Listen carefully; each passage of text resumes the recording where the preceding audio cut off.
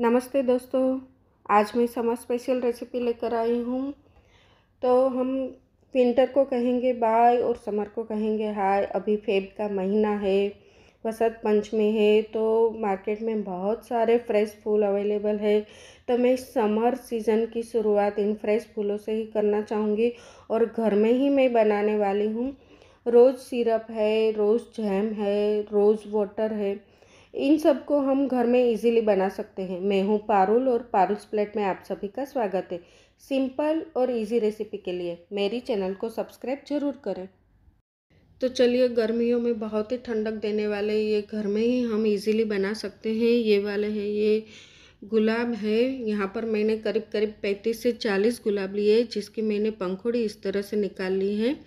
तो इस तरह से हमें पंखड़ियों को निकाल लेना है और जो बीच वाला डंठल है उसको निकाल लेना है। यहाँ पर मैंने इस तरह से पंखुड़ियाँ सब पैंतीस से चालीस फूलों की अलग कर ली है और यहाँ पर मैंने जो बीच में से साइड की पंखुड़ियाँ निकल कर रहे थे, इसको मैंने यहाँ पर गार्निश के लिए निकाल दिया है तीन से चार।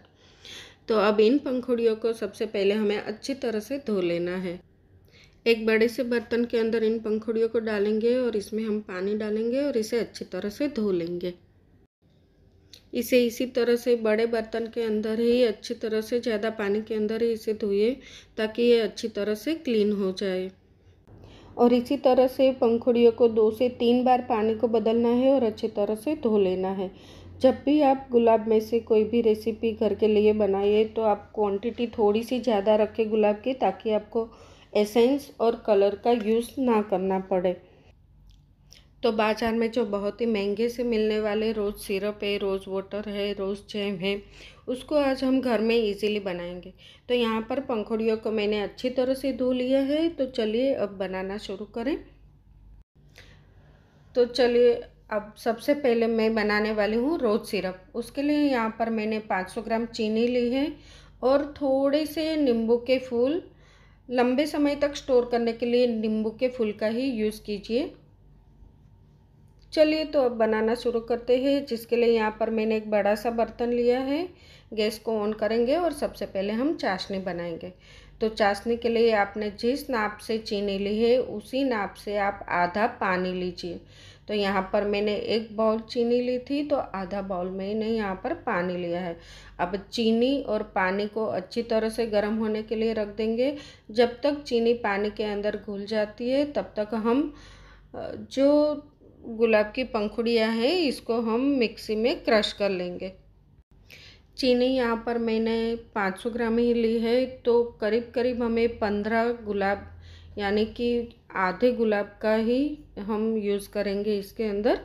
तो यहाँ पर मैंने गुलाब की पंखड़ियों को मिक्सी में क्रश कर लिया है। चीनी भी अब पानी के अंदर अच्छी तरह से घुल गई है। हमें कोई तार वाली चाशनी नहीं बनानी है। जैसे ही पानी के अंदर चीनी घुल जाए कि उसके अंदर हमें जो मिक्सी में क्रश कर लिए हैं गुलाब की पंखड़ियों को, उसे अंदर डाल देना है। यहाँ पर हम एसेंस और कलर का यूज़ नहीं करने वाले हैं। तो जब भी आप पंखुड़ियों को इस तरह से अंदर डाल दें तो इसे ढककर दो से चार मिनट तक इसे कुक करें, ताकि इसका कलर और फ्लेवर दोनों ही अच्छी तरह से चाशनी में आ जाए। तो अब ये दो तीन मिनट हो चुके हैं तो अब आप देख सकते हो, यहाँ पर गुलाब की पंखुड़ियों का जो कलर है, वो भी अंदर अच्छी तरह से आ गया है। और खुशबू तो बहुत ही अच्छी आ रही है।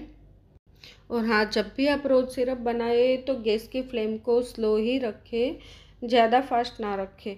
और अगर आपको लगता है कि ये रोज़ सिरप जो है वो लंबे समय तक रखना है तो आप इसमें नींबू का फूल यूज़ कीजिए। और आपको लगता है कि यह पंद्रह बीस दिन ही चलेगा तो आप फ्रेश लेमन जूस का भी यूज़ कर सकते हो। पर मैं यहाँ पर स्टोर कर रही हूँ, इसके लिए मैंने यहाँ पर नींबू के फूल डाले हैं। अब ये रोज़ सिरप जो है वो बनकर तैयार है तो इसको हम नीचे ले लेंगे और ठंडा होने के लिए रख देंगे। और अब मैं बनाने वाली हूँ रोज़ जैम।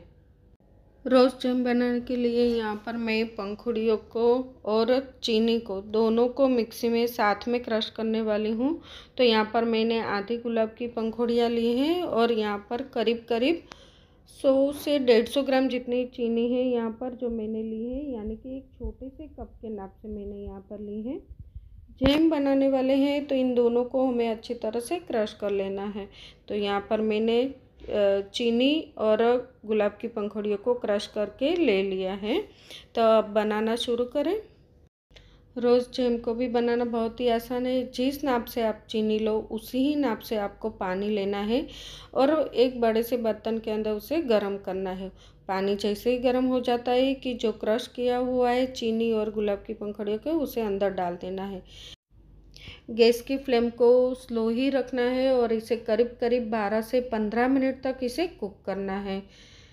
आप देख सकते हो कि ये अब इसके कलर और फ्लेवर जो है वो बहुत ही अच्छी तरह से इसके अंदर आ गई हैं और अब ये थिक भी हो चुका है।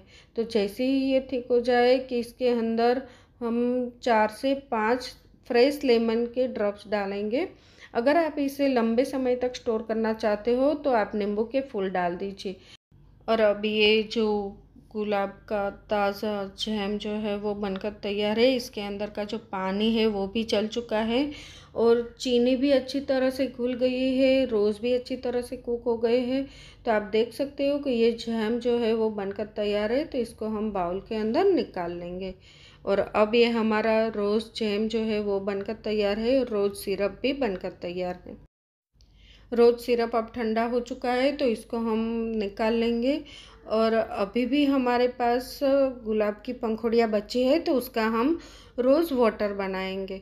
तो सबसे पहले हम इस रोज़ सिरप को बोतल के अंदर भर लेंगे। आपके पास ग्लास का बोतल हो तो अच्छा है, अगर ना हो तो आपके पास जो भी अवेलेबल हो या जो भी एयरटाइट हो उसके अंदर आप भर सकते हो और इसे तीन से चार महीने तक स्टोर कर सकते हो। रोज़ सिरप और रोज़ जेम के बाद अब मैं बनाने वाली हूँ रोज़ वाटर। घर में भी रोज़ वाटर बनाना बहुत ही आसान है। आप इसी तरह से थोड़े से गुलाब की पंखुड़ियों को ले लीजिए और कोई बड़ा सा ही बर्तन ले लीजिए, जिसके बीच में हम एक बर्तन ले रखेंगे और आसपास में सारी गुलाब की पंखुड़ियाँ जो है वो इस तरह से डाल देंगे। इस तरह से पंखुड़ियों को डालने के बाद हमें इसके अंदर अब पानी डालना है। पर ध्यान रहे कि जो बीच में बर्तन है, उसके अंदर पानी नहीं जाना चाहिए। उसके लिए यहाँ पर सबसे पहले मैं उसके ऊपर एक इस तरह से डिश रख दूँगी और अब एक गिलास पानी जो है, वो मैं इसके अंदर डाल दूँगी। पानी यहाँ पर एक ही ग्लास डालना है, इससे ज़्यादा ना डालें और यहाँ पर जो बर्तन के ऊपर मैंने डिश रखी थी, उसको अब निकाल लेना है। और जो इसका कवर है, ढक्कन है, उसको हमें इस तरह से उल्टा रखना है और उसके ऊपर हमें आइस रख देना है। आइस रखने के बाद हम गैस को चालू करेंगे और मीडियम फ्लेम पर ही गैस को रखेंगे और इसे करीब करीब 20 से 30 मिनट तक इसे इस तरह से उबालने के लिए रख देंगे। जैसे जैसे ही ये गुलाब का पानी जो है वो उबलता जाएगा और जो बीच में हमने खाली बर्तन रखा है, उसके अंदर भाप बनकर, वो पानी बनकर आएगा। वही प्योर रोज़ वाटर है।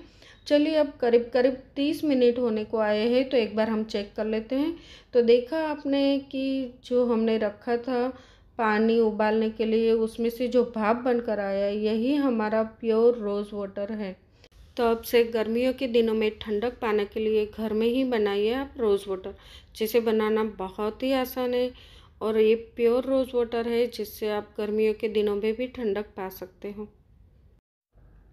तो बहुत ही कम समय में और कम खर्चे में हम घर में ही फ्रेश फ्लेवर का रोज़ सिरप, रोज़ जैम और रोज़ वाटर बना सकते हैं और आप इस रोज़ सिरप को आप सिर्फ़ ड्रिंक में ही नहीं, आप डेज़र्ट में भी यूज़ कर सकते हो। आप जहाँ पर भी चाहे आप इसका यूज़ कर सकते हो। जैसे कि यहाँ पर मैं बना रही हूँ रोज़ शरबत। आप रोज़ सिरप का दूध में, पानी में, दही में, डेज़र्ट में कहीं पर भी इस्तेमाल कर सकते हो। यहाँ पर मैंने रोज़ शरबत बना लिया है और इसी तरह से मैं यहाँ पर रोज़ फ्लेवर का मिल्क शेक बना रही हूँ। उसमें भी वही है, आप दो चम्मच जितना रोज़ सिरप ले लीजिए और एक गिलास दूध ले लीजिए, उसे ब्लेंड कर लीजिए। इस रोज़ सिरप में ना तो हमने कलर ऐड किया है और ना ही तो हमने एसेंस किया है, फिर भी ये बहुत ही फ्लेवरफुल और बहुत ही बढ़िया है। जब भी आप इस तरह से सिरप, जैम या जो भी बनाए तो इसके अंदर आप रोज़ पेटल की क्वांटिटी थोड़ी सी ज़्यादा डाल दें ताकि हमें घर में ही यूज़ करना है तो आर्टिफिशियल कलर और एसेंस की ज़रूरत ना लगे। और आप देख सकते हो कि ये रोज़ सिरप है, उसके अंदर आप कुछ भी डालो तो बहुत ही बढ़िया टेस्ट आता है। जैसे कि यहाँ पर मैंने पानी में डाल के रोज़ शरबत बनाया, दूध में डाल के मिल्क शेक बनाया और अब यहाँ पर मैं बना रही हूँ लस्सी, जिसके लिए यहाँ पर मैंने घर की ही बनी हुई एक चम्मच मलाई ली है और साथ में मैंने एक कप दही लिया है। ध्यान रखिए, लस्सी बनाते समय कि दही बिल्कुल ही खट्टा नहीं होना चाहिए। रोज़ सिरप से शरबत या मिल्क शेक बनाओ तो हमें एक्स्ट्रा चीनी ऐड करने की ज़रूरत नहीं है, पर अगर आप लस्सी बनाते हो तो उसके अंदर थोड़ी सी चीनी ज़रूर ऐड कर दें। अब इसे ब्लेंड कर ले और अब ये बन गई है हमारी लस्सी। तो देखा आपने कि रोज़ सिरप का आप कितना अलग अलग तरीके से यूज़ कर सकते हो, और सिर्फ़ इसके ड्रिंक्स ही नहीं, आप इसके डेज़र्ट और स्वीट भी बना सकते हो। और ये जो प्योर रोज़ वाटर जो बनाया है, वो भी हमें गर्मियों के दिनों में बहुत ही ठंडक देता है। आप इसे चेहरे पर लगाए या फिर आप नहाने के पानी में डाल दीजिए थोड़ा सा तो बहुत ही अच्छे से एक फ्रेशनेस आ जाती है।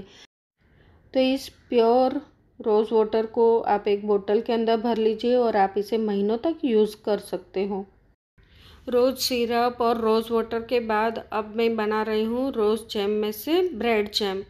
तो यहाँ पर मैंने दो ब्रेड ली है, जिसको मैंने इस तरह से वाटी से कट कर लिया है और राउंड शेप दे दिया है। गर्मियों के दिनों में जब ज़्यादा कुछ खाने का मन ना करे तो ब्रेड जैम एक बहुत ही अच्छा ऑप्शन है। जिस तरह से यहाँ पर मैंने गुलाब की पंखड़ियों में चीनी मिलाकर मिक्सी में क्रश करके उसका जैम बनाया है, आप उसी तरह से धूप में रखकर इसका गुलकंद भी बना सकते हो। और जब भी आप ब्रेड जाम बनाए तो उसके अंदर ड्राई फ्रूट एक बहुत ही अच्छा टेस्ट देता है तो ड्राई फ्रूट आप ज़रूर डालें। और यहाँ पर देखिए, मैंने यहाँ पर ब्रेड जाम बना लिया है, उसको थोड़ा सा डेकोरेट कर लेते हैं। इस तरह से एक गुलाब की पंखड़ी लगा देंगे और थोड़ा सा ड्राई फ्रूट इसके ऊपर रख देंगे। तो अब ये बन गया है हमारा ब्रेड जाम।